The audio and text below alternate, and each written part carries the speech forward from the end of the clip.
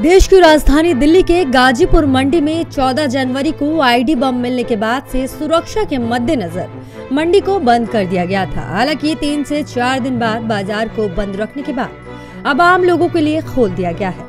बता दें कि यहाँ भारी संख्या में लोग खरीदारी करने आते थे लेकिन बम मिलने के बाद मार्केट में भीड़ बहुत कम हो गई है। व्यापारियों को काफ़ी नुकसान का सामना करना पड़ा है। थोक व्यापारियों से छोटे विक्रेता व रिक्शा पर सब्ज़ी ढुलाई करने वालों की कमाई पर खासा असर पड़ा है।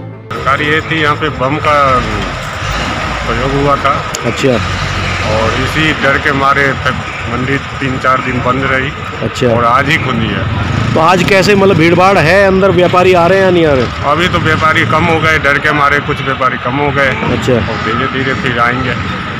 तो मतलब कै, कैसा असर पड़ा आपके व्यापार पर कहें तो? व्यापार पे असर तो भारी है सर।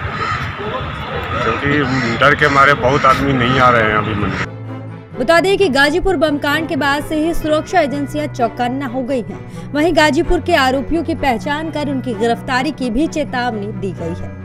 बम मिलने के बाद उसको डिफ्यूज़ किया गया, जिसके बाद सुरक्षा के मद्देनज़र फूल मंडी को जो है बंद कर दिया गया था। आज पाँचवा दिन है, पाँचवें दिन आज फूल मंडी को लोगों के लिए, आम लोगों के लिए खोल दिया गया। इक्का दुक्का लोगों के अलावा आपको कोई लोग यहाँ पर नहीं दिखेंगे। हालाँकि आज ये पहला दिन है, जब मंडी को खोला गया, वो बम मिलने के बाद, इसके बाद जो है, हो सकता है धीरे धीरे लोगों की आवाजाही यहाँ पर बढ़े और लोग बाग जो है अपना व्यापार करने यहाँ आए। हालाँकि सुरक्षा के मद्देनज़र अभी भी फूल मंडी पर पुलिस फोर्स तैनात की गई है ताकि किसी भी अप्रिय घटना से वो सामना कर सके और लोगों के लिए जो है यहाँ पर एक सुरक्षा का माहौल पैदा कर सके। वहीं मैं बता दूँ, अभी इसके बाद ही जो है एक टेलीग्राम चैट मैसेज वायरल हुआ है। बताया गया कि उसमें जो है मुजाहिदीन गजवत हुल गजवत उल हिंद ने इस पूरे बम कांड की ज़िम्मेदारी लेते हुए एक थ्रेट दी थी।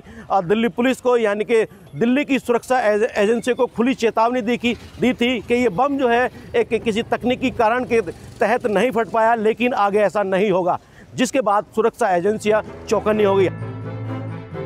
दिल्ली से नवोदय टाइम्स के लिए सचिन बिरला की रिपोर्ट।